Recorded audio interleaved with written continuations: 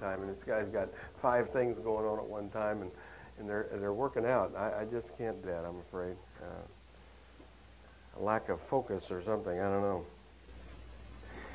Uh, to continue our saga of interesting or funny people, uh, I would like to tell you a story. I probably some of you would would know this story, I'm sure, but if I say the word to you, Louis Cukela, does anybody know who he was? Oh, yes, okay. Louis Cukela, uh, you watched the movie tonight of the fellows who won a Medal of Honor. How many of you got to see that flick, by the way? That's the little video. I was absolutely astounded that that thing actually appeared on mainline television on ABC, and, and that's why I went and wrote him and said, please send me one. I was sort of mind-boggled that it had actually gotten through all the media censors. Uh, but uh, watching those guys uh, who won medals of honor, I will tell you, Louis Cukela won two of them, and there aren't a lot of guys who won two of them. Uh, Cukela was a Marine uh, sergeant in World War II, won both of his medals of honor. He uh, was later commissioned, and he was from Serbia. In the old days, I used to tell a story, and I would say Serbia. and Nobody knew where that was, but uh, of late, people know where Serbia is. We've at least discovered Cukela's homeland, if we haven't found out who he is. But, but Cukela, my father, years ago, worked for Louis Cukela, and coming from Serbia, he spoke a number of Eastern European languages, and English was at least his third or fourth language, and so he struggled a bit expressing himself in English uh, and he had a terrible temper, which expressed itself rather clearly. And uh, I can still picture in my mind my dad telling me the stories of Cukela down at the gun shed who would get angry. And he would get upset. And what he would mean to say in English was to come out, and what he meant to say was, before I'd send a fool to do that, I'd rather do it myself. That was what he meant to say. But it didn't come out that way. And so as Cukela would get angry and slam his fist down on the desk, he would look out and announce, next time I send a fool, I go myself. so, and most of us have done that, been there, done that very thing. And, but it was always one of those funny, sort of strange uh, characters that were in the Corps. And as I said, very few guys. Another quick Cukela story was in basic school. Some of you will go through the basic school he had they commissioned him, and everybody has to go through the basic school of some description for the Marine Corps. And Cukela was in the audience, and they got up and they were discussing how to take this particular hill. And of course, this was in the 20s and shortly after World War One.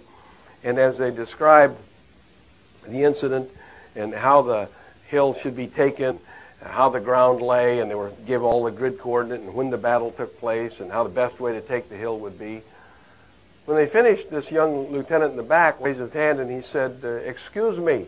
He said, the, the bush wasn't that dense on the right side. You had to envelop over here on the left because it looks like you can go through that, but you can't. They see you too quickly. You must go from the left. And this guy said, "Well, I'm sorry, Lieutenant, but that's uh, that's not the school solution. That's not the way, and it wouldn't work." Cukela stood up and he said, what you mean it don't work? I win a Medal of Honor for taking that hill. It'd be a little intimidating if you were the instructor. Uh, what you mean it don't work? So.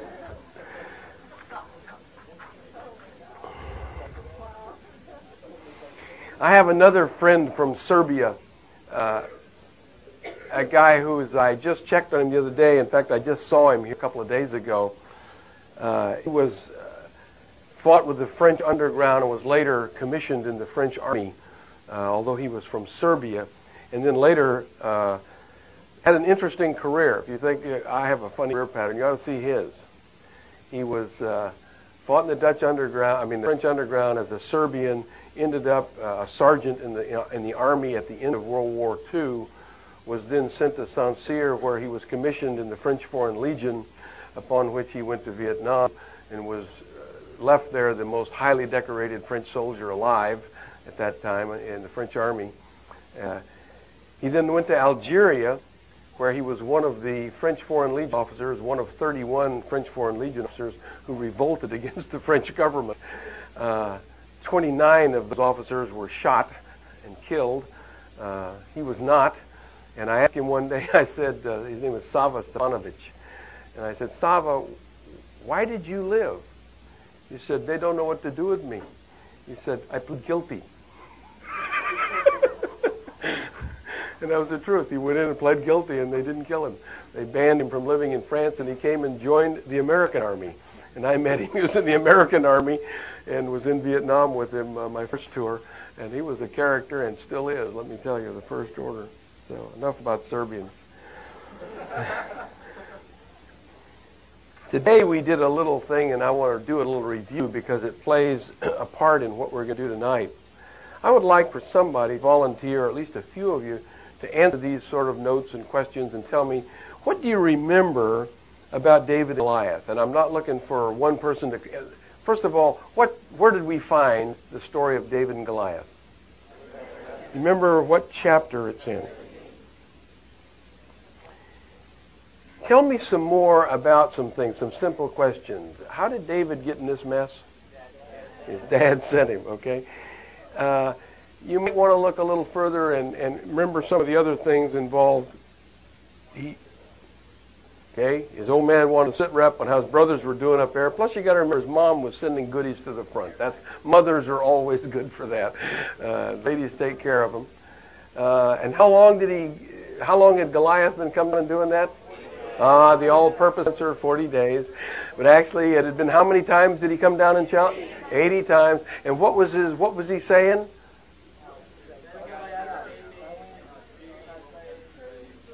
And what do we learn at the end about? Ah, the world lies. Isn't that amazing? Okay.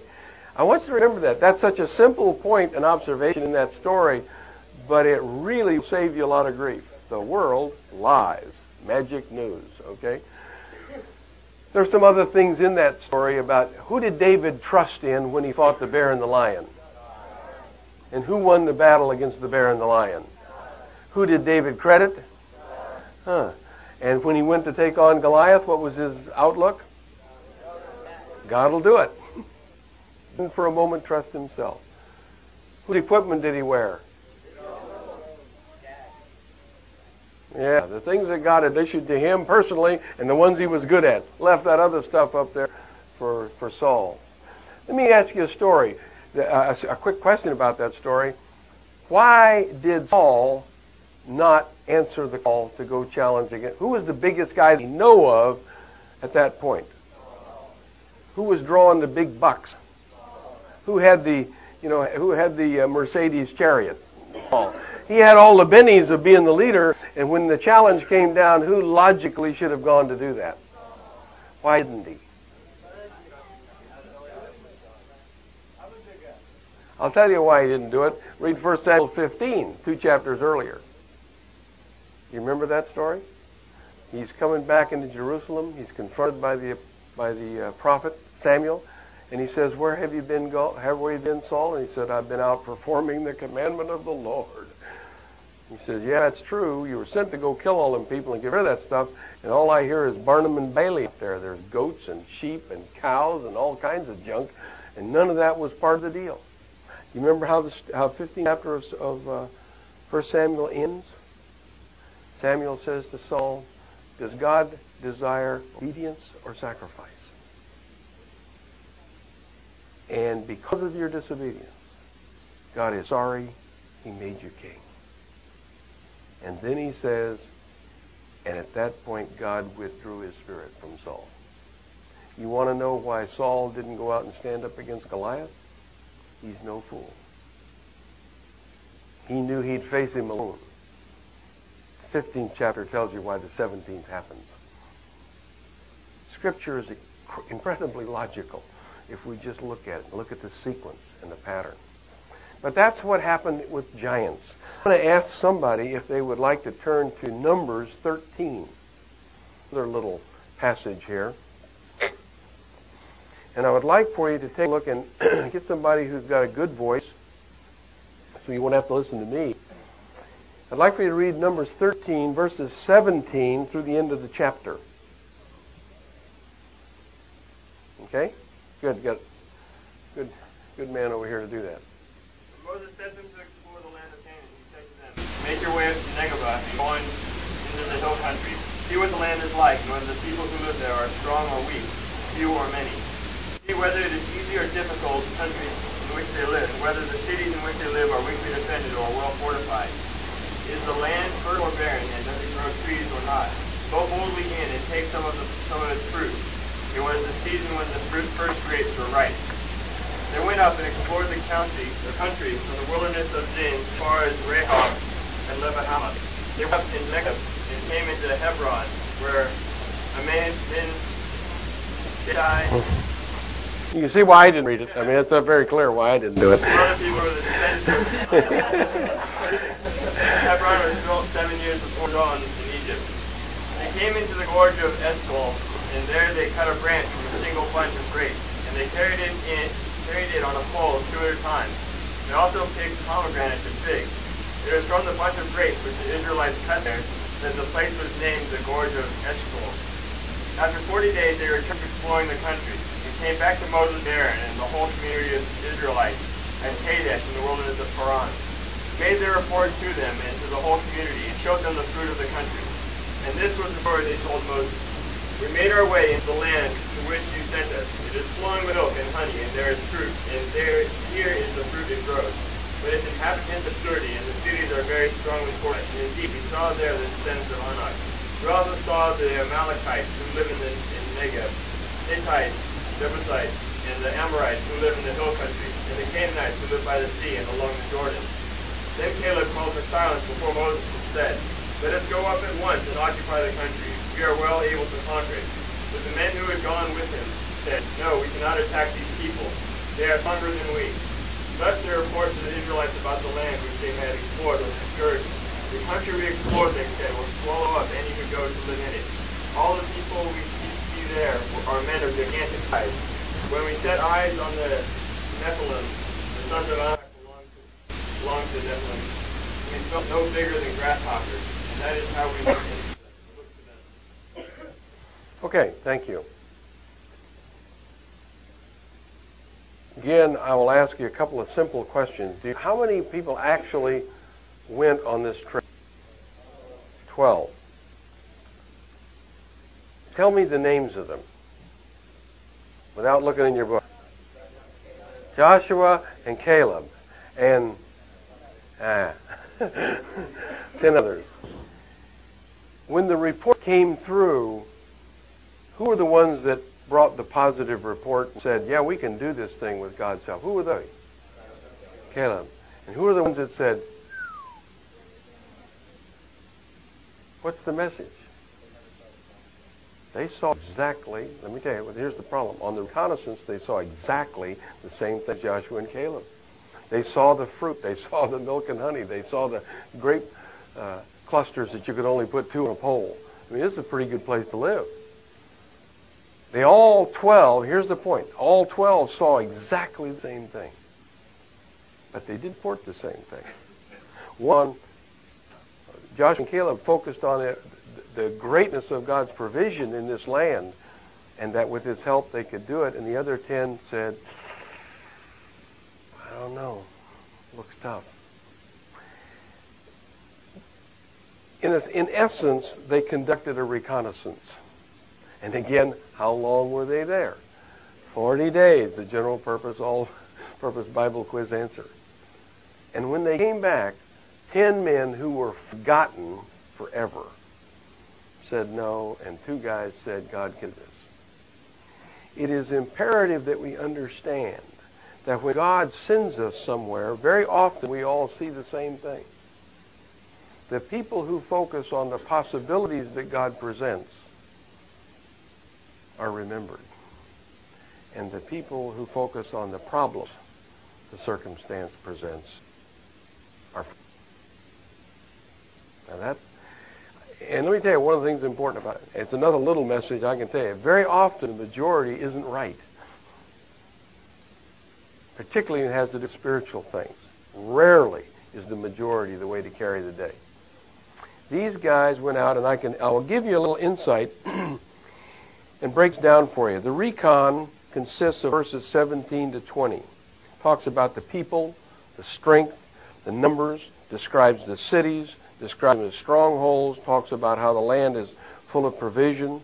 There's a then the report comes back and talks about the extensive food, and then it also mentions the tough walled cities and the giants. as you read on in chapter 14, which I didn't ask you to do, I'll ask, I'm going to jump on Bob Underhill because I know he's a wizard. uh, in, in chapter 14, they held a little, remember after the report, reconnaissance all took place, they held a conference and they sort of, what was the tenor of that conference as they presented it to Moses, the, the Israeli people? No way. Their consensus was they believed the ten, not the two. And did they have anything to say about Moses, did you recall?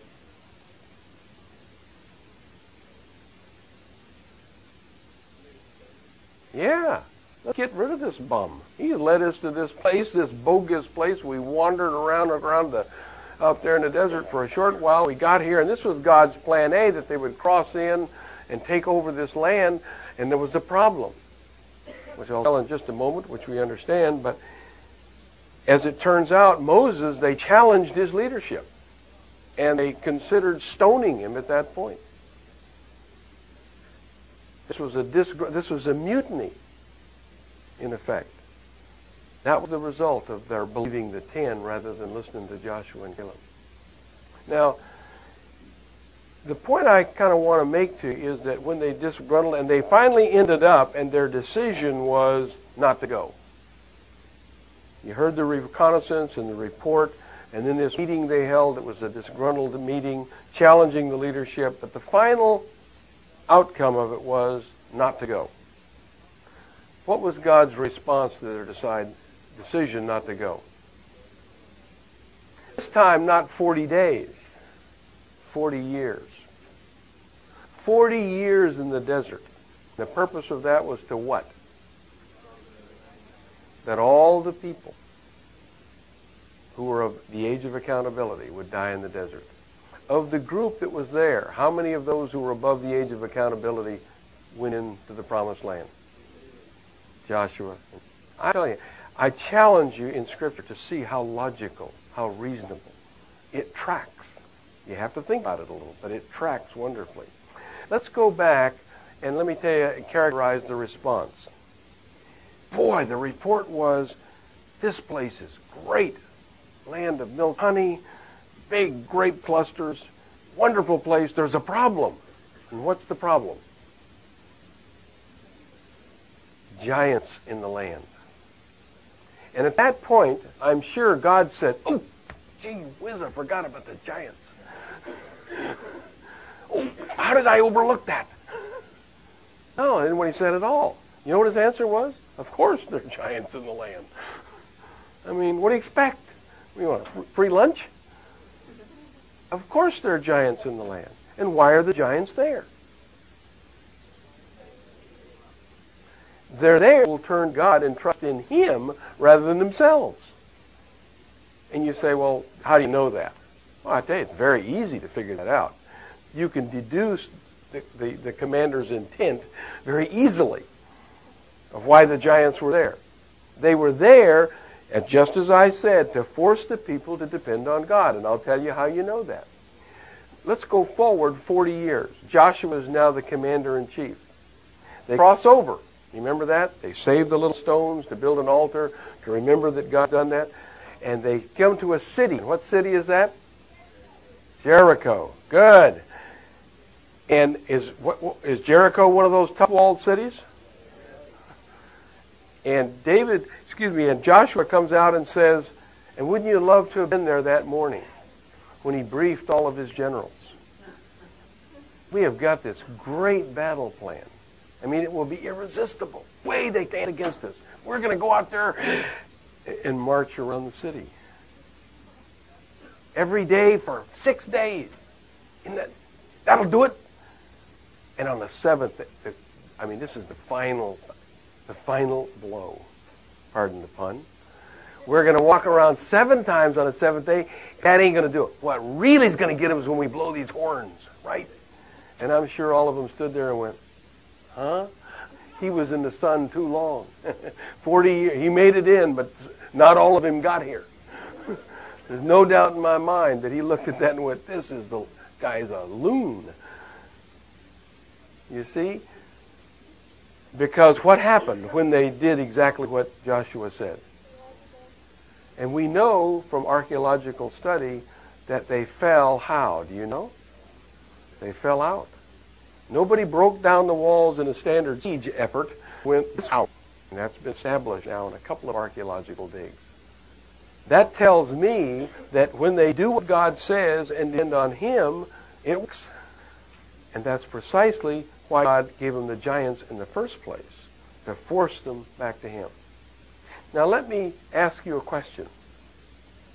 Have you not trusted God, come right to the point where it's time to go do what He tells you to do, and all of a sudden you go, what about the giants? We all face giants. I hate to tell you this, but the giants are part of the program. There will always be giants. No matter how good it looks, no matter how many grapes there are in a cluster, there'll always be giants. And why? To force you back to depend on God. Because if he turns you loose, you'll fall on your head again, dependent on yourself. How do we know that? After Jericho, what was the next attempt to do? Ai. And they went up to Ai and they did a lot of prayer and, and sought God's will, and didn't they? No, wrong. They said, ah, it's just a little place up there, Lake Town. We'll dispatch a few troops up there and take over the place. Did that work? They came chased home with their tail between their legs. Simple. Big walled city, depend on God, bam, down it comes, we win. Little hick town, we forget to consult God, we forget to deal with Him in detail, and we get licked. Could it be clearer? And yet I have to tell you, how many times in my life I have trusted God right up to the point that I needed to go into the promised land to reap the benefit, to live where He wanted me to at the at the level He wanted me to. I've gone, the giants have scared me to death. And I wandered around out there in the wilderness. Now that was the worst compass march in, in 40 years. If you look how far they had to go, it's nothing. Had done that in no time. 40 years out there wandering around. Because God said, if you're not going to believe me and trust me, I've just got to make you pay a price. You might want to read, uh, I don't know where it is in Hebrews. Uh, Hebrews 3, 16 to 19, I think. Somebody would dig that up. I'd appreciate it. Read that, and you'll see exactly how this thing all ended and why it occurred. It's those places where in the Old Testament they go back. I mean, in the New Testament they tell you exactly why an event occurred. And yes, sir. Go ahead, please. Stand up if you would. It's a little better for folks.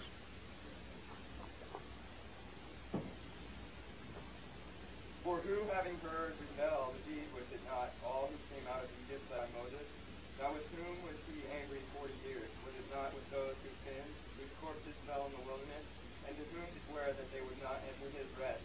But those that they could not enter it because. They didn't believe God. And that's why they died in the wilderness. I wish I could tell you that I've learned this lesson, I've studied this passage, I've got it all together. No, but I want to tell you something. The giants still scare me. The giants still worry me. I sometimes react out of fear, and I forget to go and say, God, I mean, how do you want it done? I'll do what you tell me. I forget to do that. I wish I could stand up here and say, oh, yeah, I got it all together. I don't. But I want you to understand that God, these stories tell us things with real clarity in mind. They couldn't go into the promised land because they failed to trust God. And those of you who may or may, may not know Christ, you're not going to get there by it is not going to happen. You're not going to receive salvation based on your efforts. You can only receive salvation by trusting God. And He's got a strange way of doing it. You come in and confess your sin and believe that His Son is Jesus and was raised from the dead in three days, and you get in. That's His method. And you say, oh, that's kind of goofy. That makes sense. I can remember thinking, oh, that's kind of goofy. How goofy is walking around a walled city? How strange is that? And blowing them stupid horns. God's ways don't necessarily make sense to us. Sometimes they do. But sometimes they don't at all. And I continue to be frightened by the giants. We need to remember that there are giants in every promised land. God is not surprised. This is not a cosmic oversight. And if we'll face those giants in God's strength, using His, the day is carried. If we don't, we don't enter. We don't get what God has prepared for us. God is forgiving, but when we sin and when we reject God, it says, For the wages of sin is death, but the gift of God is eternal life through Jesus Christ. The wages of sin. Sin causes death. That's the way it works. Even as a father, when I'm in sin, it causes death in my own family. Let me explain that to you. When I've sinned as a father or as a husband and I don't get that straightened back out and I don't back and get back in fellowship with God, and in my stubbornness I resist that. I'm afraid, and so I pull into myself and I try to handle it myself and I don't go to God and I don't go and confess it. You know what happens? Spiritually, I spread death in my own home. I'm not available to my children. I can't help them. I can't help my wife and encourage her when she needs it. Let me tell you something. The wages of sin is death. Ain't no if about it. And in order to get it forgiven and straightened out, we must go back to God. We must do it His way. It is imperative in my thinking that we understand that giants are part of the program. They're not an anomaly. They are there to bring us back God. I want to tell you a, little bit of a, of a, a follow-on to this that will be helpful to you, I hope. But remember, giants are normal.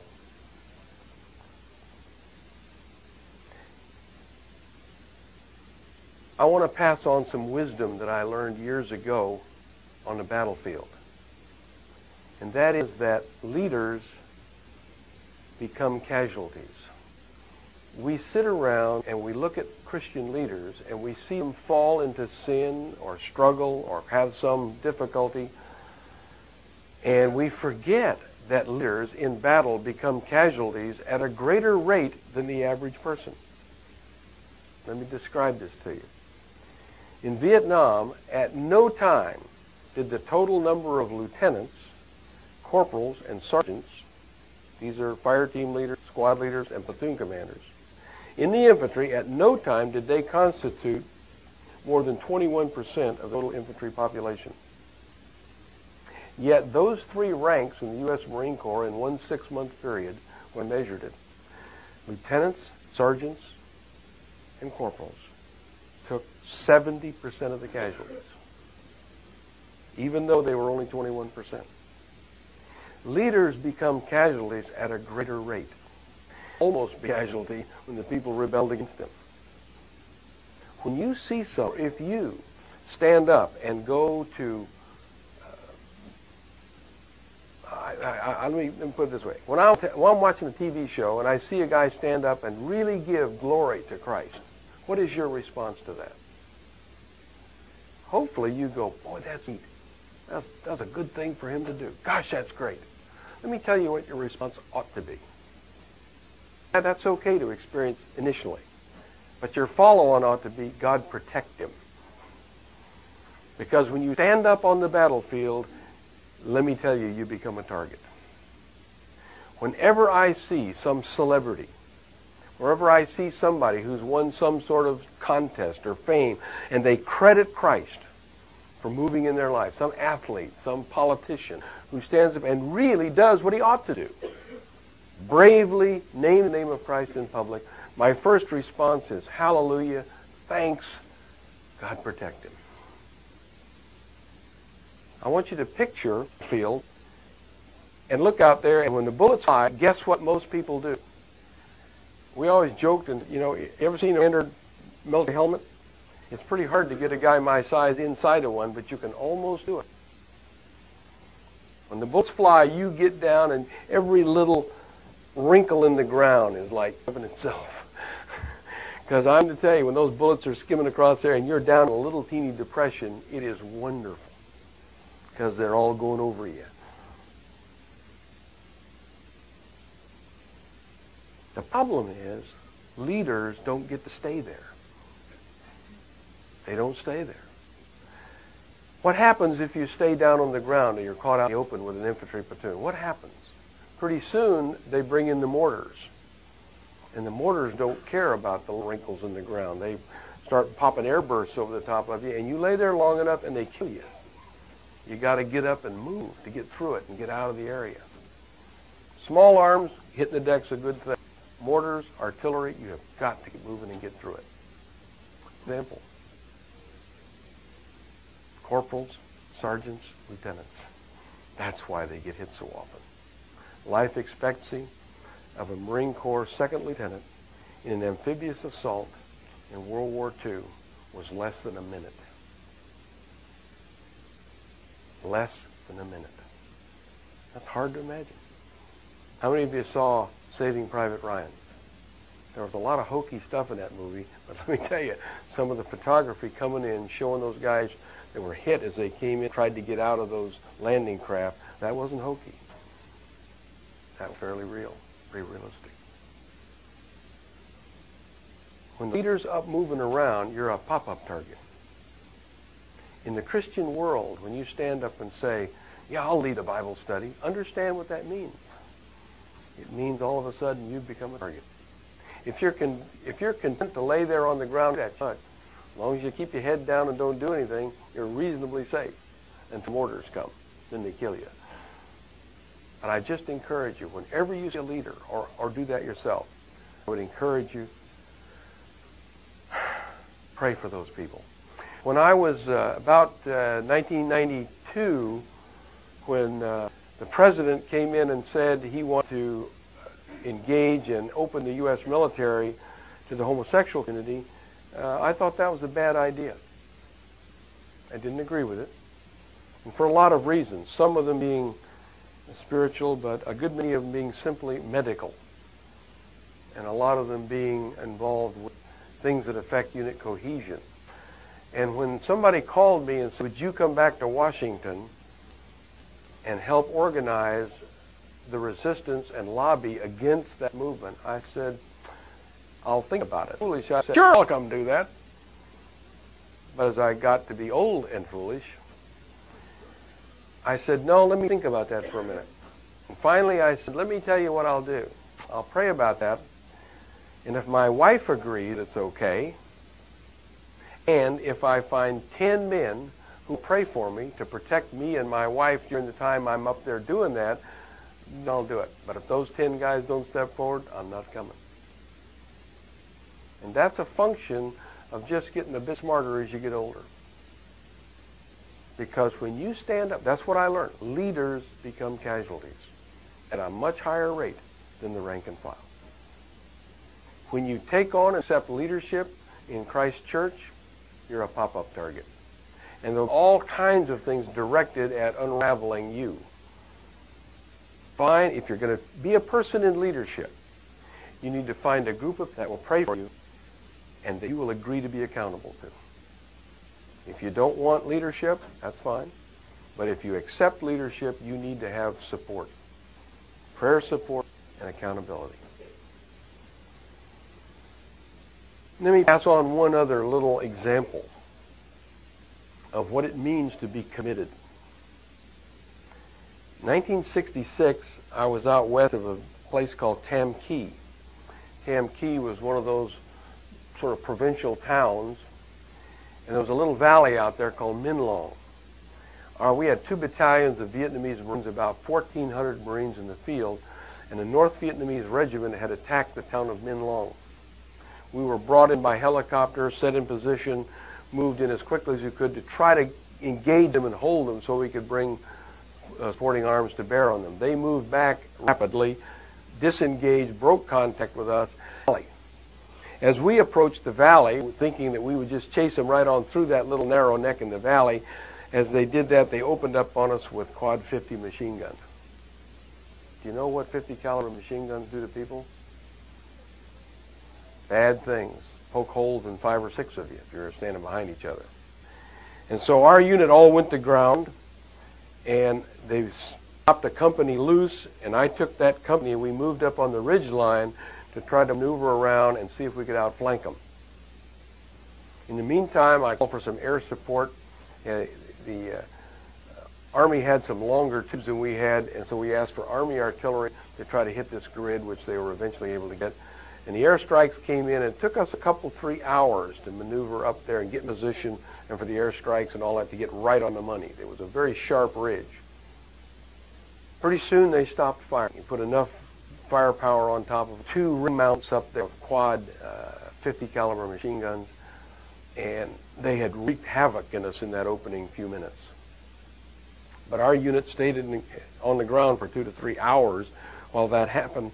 When I came up with the lead company up on top as an advisor, I looked down and I couldn't see, and the smoke finally cleared. I couldn't see anybody moving. It Looked to me like all of the NVA had been killed. So I moved down into the position, and I went from guy place to place trying to find, see if anybody was left alive.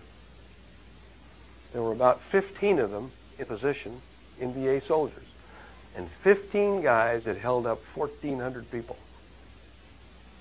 while their unit went off. They broke contact. Their mission was to contact, allow the, their unit to get away.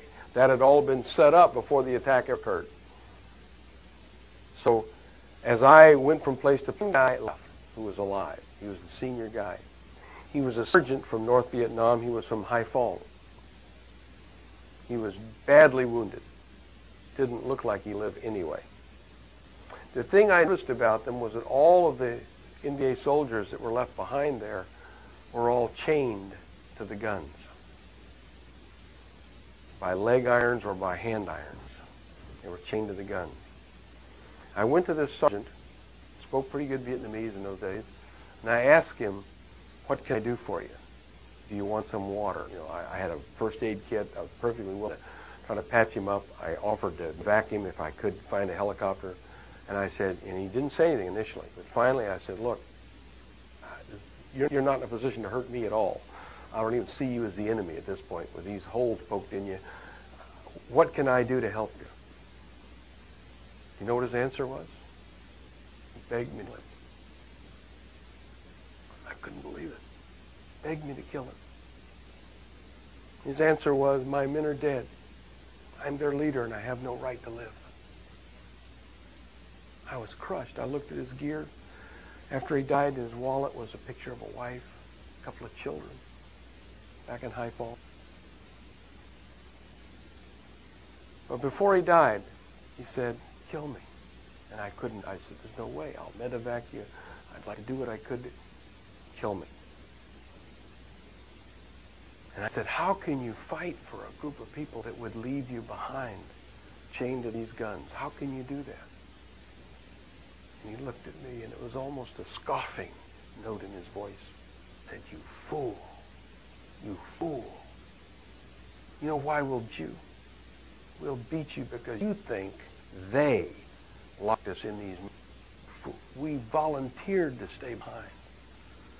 We chained ourselves to the guns. We closed the locks. We threw the keys over the cliff so we wouldn't be tempted to run. You don't understand. You don't know what commitment is, and we'll beat you. That was 1966. Danged if it didn't. What I want to what, what I want you to remember from this story, when a person has written themselves off, given themselves up and surrendered, they're pretty tough to beat. I wrote in my notebook, that kind of commitment wins frequently. As Christians, do we know what commitment is? Do we understand it at that level? Do we know what it means to say, I got to die to bring glory to my Lord. I'm prepared to. Do we understand that? I mentioned I mentioned the story and go through the story about the five missionaries that died down in Ecuador. How many of you remember that story when Jim Elliot was killed? And we remember Jim Elliot mostly because his wife can write. But there were four other guys. It was Jim Elliot and Ed McCully and Roger Youderian and Nate Saint and Pete Fleming. That was the five of them. They died on the 8th of January, 1956. I'd been a Christian just a few months. These young men had signed on with various mission groups. When they got down in there in Ecuador, they found a group of Indians that no one had ever really reached out to. Some of you are old enough to remember they were Aucas. They had been headhunters and were still practicing some of that. They had tolerated no intrusions who came in got killed.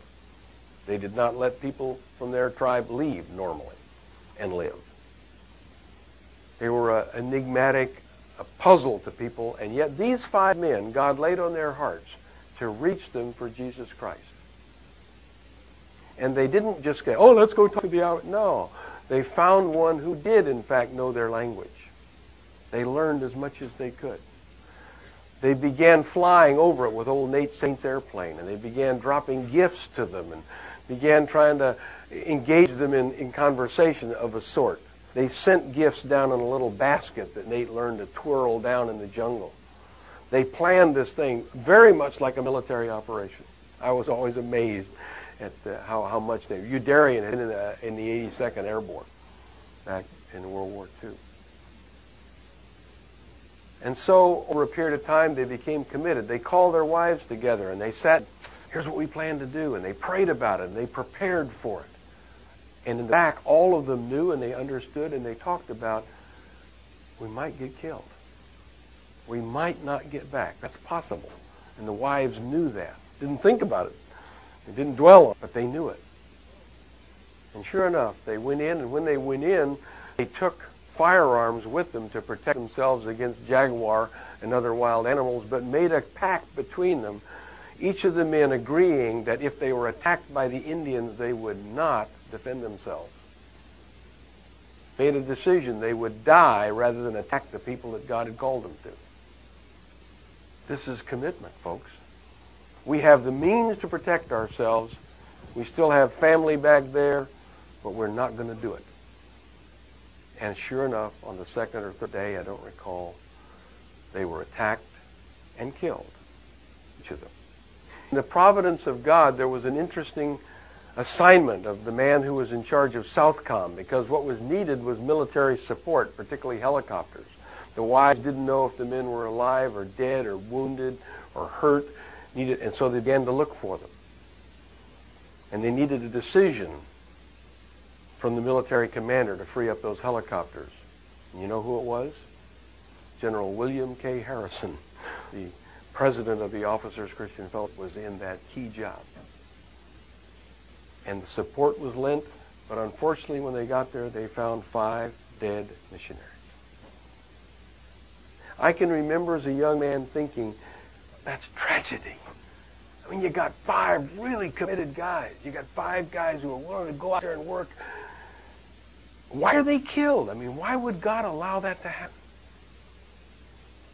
Let me assure you that the wives, possible their husbands to die, although the children knew something about what it might cost to try to reach the Aucas, the children were still fatherless. No amount of preparation would prepare them for that. So the realities set in.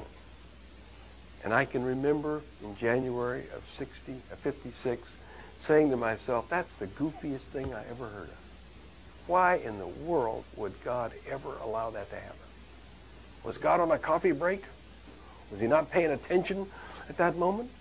And the answer is no. He was very much in charge. Hard for us to understand. About 10 years ago, I was reading a study put out by the Christian Camping International. It was a survey of individuals who had been called to the mission field. And when they went through the survey, they asked people, what is it? Was there a particular incident? Was there a time when God spoke to you about mission? Was there a, an incident that crystallized your commitment to be available to, for the mission field? And lots of people wrote down different things. Do you know how many people listed the death of those five men as the critical element through which God spoke to them about going to the mission field? The answer is 50,000. There had been 50,000 young men and women, middle-aged men and women, older men and women, who had been so touched by the commitment and the fact that God allowed the it meant so much 50 uh, that was 10 years ago. I don't know how many that, that answer would be today. If somebody came up to you and said, "Would you would you would you lend me 5 bucks, pay you back 50,000?" Most of us would think that's a pretty good deal. And what God saw way back in 1956 that I didn't see was he knew how it all played out. He knew how important that commitment of those five men, that offering of their lives would be. Understand something. That did not instantly mean that none of the widows grieved. That does not mean that the children were not yet fatherless. We're still uh, struggling with that. Most of the wives found godly men who would love them and their children. It wasn't all perfect, let me tell you. Working those things out is always a little messier than it looks, let me assure you. But the truth is, God used it to His glory. Let me go back and ask again. What is the chief end of man? To glorify God and enjoy Him forever. Those men's lives glorified God in a way that's hard for us to fathom. They displayed a kind of commitment, the kind I saw west of Tam Ky that wins. Doesn't always end in death. It really doesn't.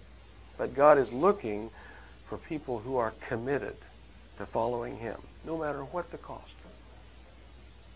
On the front, we often don't know what the cost will be. But I would encourage you to remember something. In the face of your commitment, in the face of your willingness to stand up, in appreciating the truth about leaders become casualties, no matter where God has the blessing for you, there are giants in the land. I want to stop for a moment and just take a moment because we got a couple minutes left. I want you to think in your own mind what are some of the giants in your life? What are the things that scare you? Don't have to tell me, but I want you to think about it. If you got a pencil and paper, you might write a couple of them down. Stick them in your Bible. What are some of the giants that appear in your life that to you are frightening, that are scary, that were in there on purpose to design to keep you going back to God and not relying on yourself.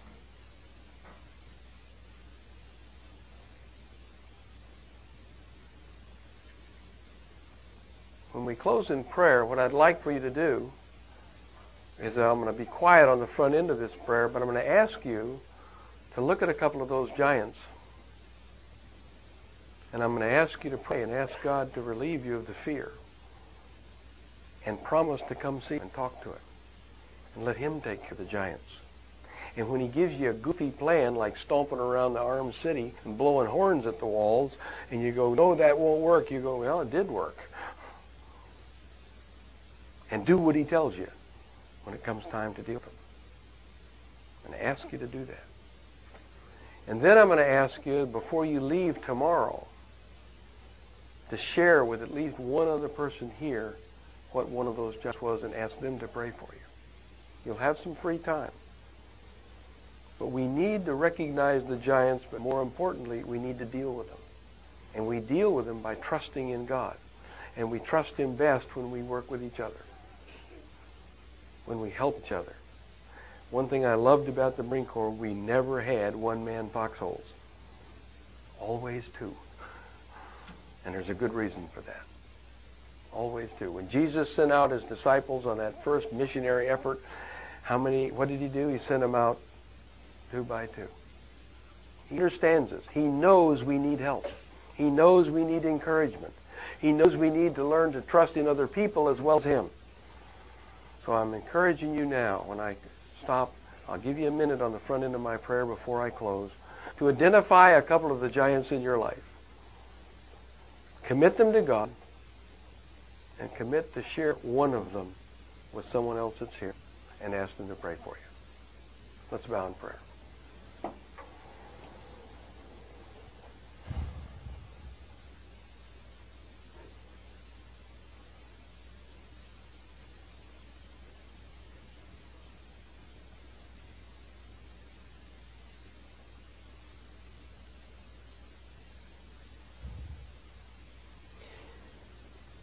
Dear Father, we do thank you that you provide giants.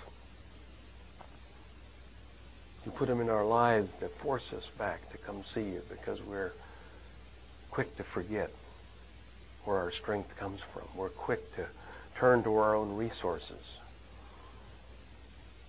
We're slow to remember how many times you faithfully delivered us. Thank you, Lord, for the giants that scare us, that cause our souls to quake and to have fears and doubts about future.